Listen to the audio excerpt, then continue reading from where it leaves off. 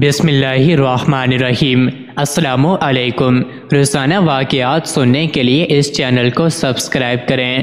خالد بن سفیان الحزلی بہت بدصورت آدمی تھا۔ اس کا قد بڑا تھا جسم بہت طاقتور تھا۔ جس قدر وہ بدصورت تھا، اتنا ہی اسلام کا دشمن تھا۔ اسلام کی مخالفت میں ہر وقت سرگرم رہتا تھا۔ اس کی بدترین حرکتوں سے تنگ آ کر نبی کریم صلی اللہ علیہ وسلم نے صحابہ کرام رضی اللہ عنہم کی ایک جماعت کے درمیان درمیان فرمایا، خالد بن سفیان کا کام کون تمام کرے گا؟ یہ سنتے ہی ایک صاحب فوراً اٹھے اور بولے، یا رسول اللہ صلی اللہ علیہ وآلہ وسلم، میرے ماں باپ آپ پر قربان، یہ کام میرے سپرد کر دیجیے اور اس شخص کی کوئی نشانی بتا دیجیے۔ نبی کریم صلی اللہ علیہ وسلم نے ارشاد فرمایا، اس کی نشانی یہ ہے کہ جو اسے دیکھتا ہے، ڈر جاتا ہے۔ اس پر وہ صحابی بول اٹھے، یا رسول اللہ صلی اللہ علیہ وآلہ وسلم۔ میں تو کسی چیز سے نہیں ڈرا۔ یہ سن کر نبی کریم صلی اللہ علیہ وسلم نے انہیں اجازت عطا فرمائی۔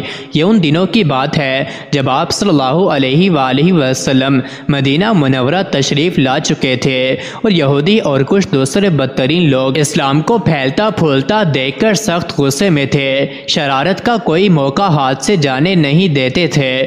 یہاں تک کہ نبی کریم صلی اللہ علیہ وسلم کے خلاف طرح طرح کی باتیں پھیلاتے رہتے تھے۔ انہی میں سے ایک خالد بن سفیان تھا۔ وہ صحابی اس کی رہائش گاہ کی طرف روانہ ہوئے۔ خالد پر نظر پڑی تو اسے ایسا ہی پایا، جیسا کہ حضور صلی اللہ علیہ وسلم نے فرمایا تھا۔ لیکن وہ بہت باہمت تھے۔ پہلے تو اس سے ادھر ادھر کی دو چار باتیں کی پھر اچانک تلوار نکال کر اس پر ٹوٹ پڑے اور دیکھتے ہی دیکھتے اس کا سر قلم کر دیا۔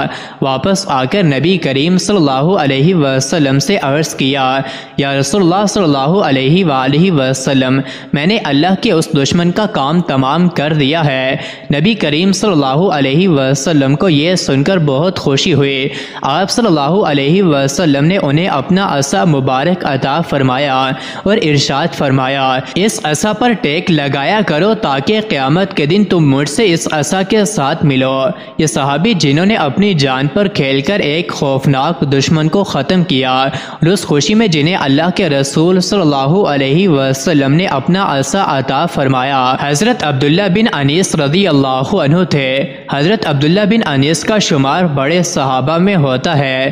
نبوت کے تیرہویں سال بیت عقبہ کبیرہ ہوئی تھی۔ مدینہ منورہ سے پنجہتر کے قریب لوگ مکہ موسمہ آئے تھے۔ عبداللہ بن انیس رضی اللہ عنہ ان میں شامل تھے۔ وہ اس بیت سے پہلے ہی اسلام لا چکے تھے۔ ان پنجہتر مسلمانوں نے اسلام اسلام قبول کیا اور حضور صلی اللہ علیہ وسلم کو مدینہ تشریف لانے کی دعوت دی تھی۔ اپنی جان، مال اور اولاد کے ساتھ آپ صلی اللہ علیہ وسلم کی حفاظت کرنے کا اعلان کیا تھا۔ ان سب حضرات کا درجہ بہت بلند ہے۔ مزید ایسے ہی ویڈیوز کے لیے چینل کو ضرور سبسکرائب کریں۔